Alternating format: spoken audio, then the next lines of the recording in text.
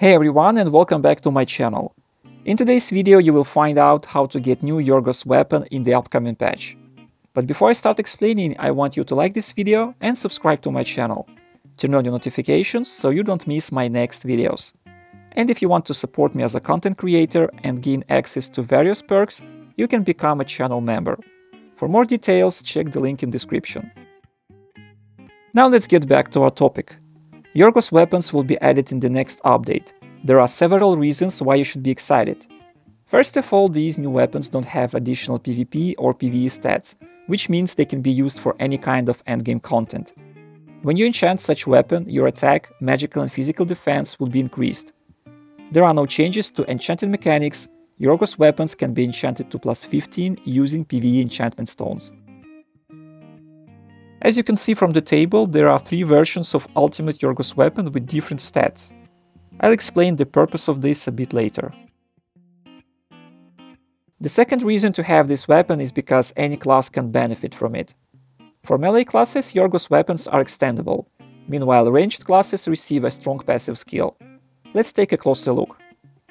Every time you attack the target, there is a 5% chance to create energetic field on the ground that works for you and your group members. When you step into it, you will receive a buff called Yorgos Masterpiece. This buff is quite interesting because it consists of two levels. The first level lasts 4 seconds, it increases additional PvP and PvE attack by 500, accuracy and magical accuracy by 1000. After that, when the first level buff expires, the second level of Yorgos Masterpiece pops. For another 4 seconds it boosts additional PvP and PvE attack by 1000, accuracy and magical accuracy by 1500. So the overall duration of this buff is 8 seconds and it's very OP.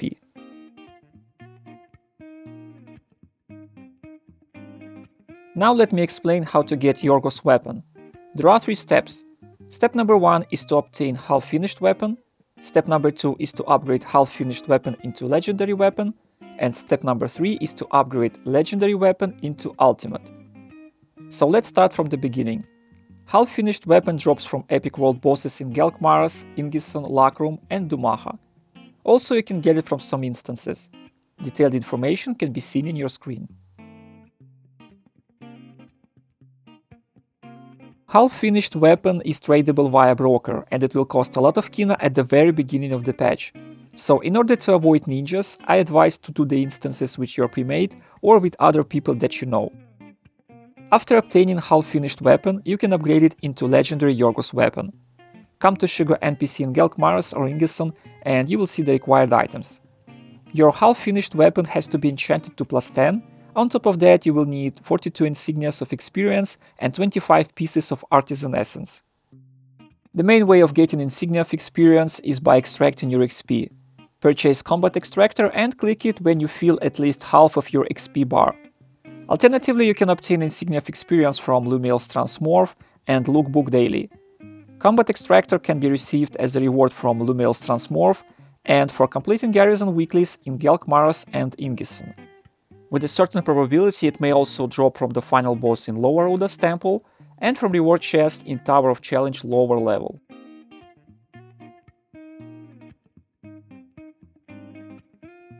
The other material, which is Artisan Essence, can be acquired by extracting half-finished and legendary Yorgos weapons. You get around 5 pieces of essence from half-finished weapon and approximately 20 pieces from legendary one. You probably wonder why in the world do you have to extract upgraded guns well, the answer is simple. It's all because of RNG. Because when you upgrade half-finished weapon, you randomly receive one of three possible versions of legendary Yorgos weapon. Each version goes with different stats. For example, you wanted some additional crit strike, but you got physical attack instead. You can extract such legendary weapon and use the received artisan essence for your next try.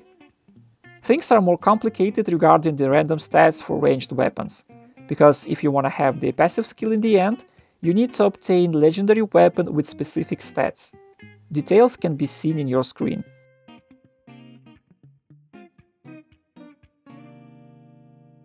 Okay, so let's imagine you got the proper legendary Yorgos weapon. Now you can upgrade it into final ultimate version. You will need 56 insignias of experience and 93 pieces of artisan essence. Also, your legendary weapon has to be plus 15. At this point there is one more RNG wall. The output has two possible items. You may receive either Ultimate Yorgos weapon or a chest containing plus 10 legendary weapon. I don't want to upset anyone, but the exact odds of getting Ultimate Yorgos weapon are 15%. You heard me right, 15, not 50. So if you decide to get this weapon, be ready to spend a lot of time and Kina trying to achieve this goal. Now let's run a small test. I'll try to upgrade 20 legendary polearms and we'll see how many of them will succeed.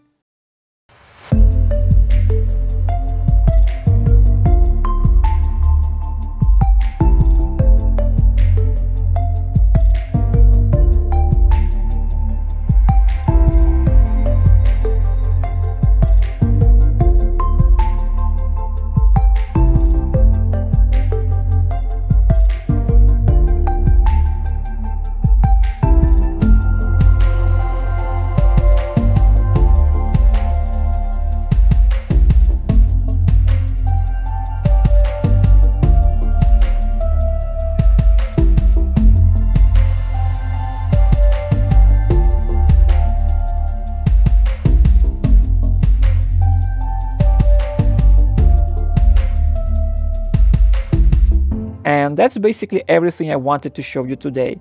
If you still have any questions, you can ask them in the comment section.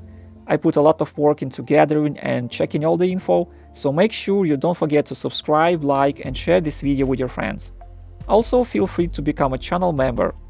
Thanks for watching and see you soon.